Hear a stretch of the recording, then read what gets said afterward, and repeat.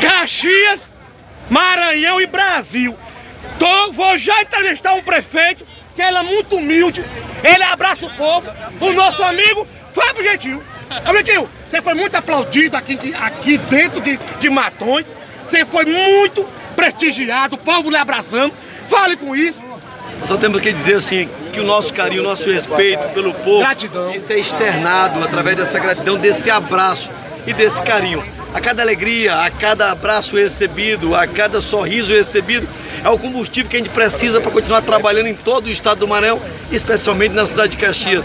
E a cidade de Matões, abraçar o Gabriel e a cidade de Timon, falar com o meu amigo PA, isso mostra o quanto nós somos populares, o quanto nós acreditamos que através da amizade e do respeito se muda o destino de uma cidade. Hoje, em especial aqui na cidade de Matões, se escreve um novo capítulo de uma cidade que muda o seu destino. Quem tem a chance de mudar é o próprio povo.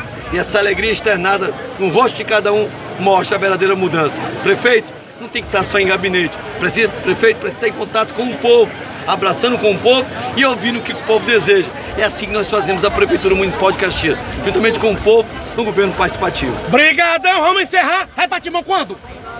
Estou à sua disposição, à disposição de todos os timonenses, para que juntos nós possamos trabalhar a nova história da cidade de Timon. Brigadão, prefeito humilde, prefeito ligado ao povo. Junto. Junto com o povo.